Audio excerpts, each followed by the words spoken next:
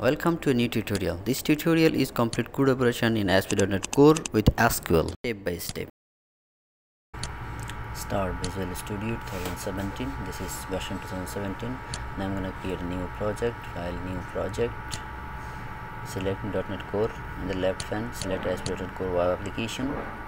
Select the directory where the application will be stored. Yes, a step. Name the application application name is CRUD underscore asp underscore core okay click on ok yes this is the empty web api select web application and then click ok the application is created. Yes. To the solution explorer and right click add a new folder. New folder folder name is model. Okay. Now I'm gonna add a class in the model. Okay. Class name is student class. Student. Click on add. Okay. The class is added. Public integer student id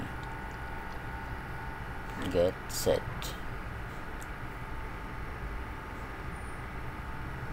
adjust coefficient to reducing time.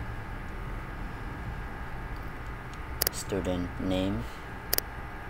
String this is a string type. And third one is address. Fourth one is age and phone number is also string. And email also a string type. Finally date of birth. Date of birth is date time. So it's done now go to the face folder. Right click add new folder. Folder name is students. In this students face folder I will create face. So right click click on add new scaffolded item. Click on scaffolded item. Select Razor Page. Select Razor Page using entity framework CRUD. I can see generates Razor Page using entity framework create delete details edit and list operation for the given model. Click on add. Select the model class. My model class is a student class. So the select student class. Okay. And select the data context. This is the CRUD ASP core context. Click on add. This is added. Finally click on add. Yes. It's generating the page and code. Okay it's generated. index.html you can see. Edit create details. Let's check in the solution explorer. Expand the students folder. Yes you can see create delete details edit and index page also created with controller.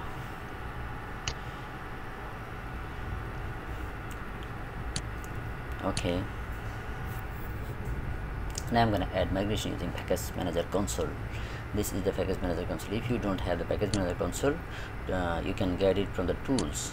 Click on tools menu and click on NuGet package manager console. Select package manager console. Now write command. Command is add migration initial. Click on enter. Yes it's migrating let's check the migration in the solution explorer. Yes migration is added now get the database. Just go to the view and go to the SQL server object explorer. Now there is no database in the local server. Okay. Now just click on update database. Update hyphen database. Click on enter. Yes. Yes it's done. Database is created. Let's check. Right click the database and refresh. Okay.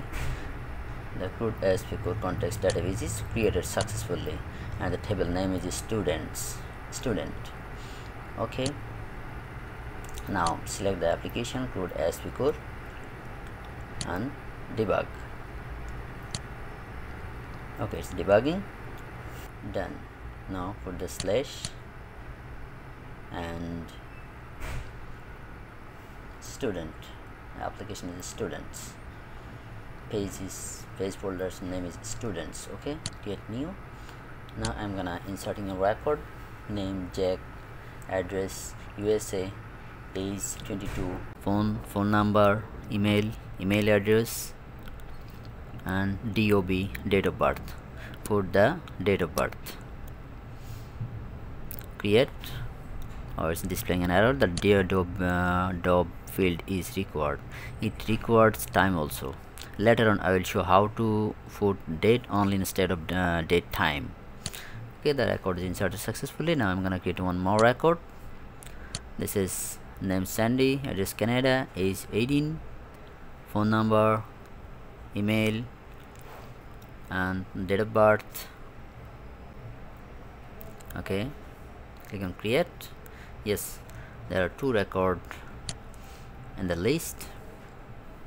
Now click on edit. You can edit any any records. Mm, phone number I just change the phone number. Or for the date of birth field. Click on save yes it's saved the phone number is changed. Okay now let's check the details. Yes these are the details of the student. Delete? Yes it's deleted successfully. Now I'm gonna create uh, one more record. Name Orani. Address India. Age 25 phone number email and date of birth.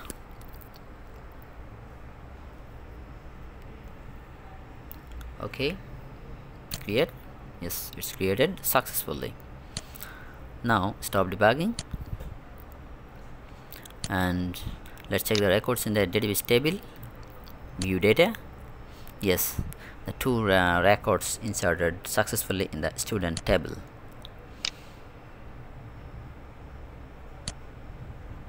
now see the designer student id address date of birth email name phone and age. Now i'm gonna change date format date time to date only. Okay. I will change date format in create and edit page so input in the input put format date format mm month day year mmdd and yy type equal to date. Okay. And in the create phase same. Type equal to date and format just copy the format option. And paste in the create in input. Okay. Run. Yes. Create now see that displaying the date instead of date time. Edit. Yes it's also same.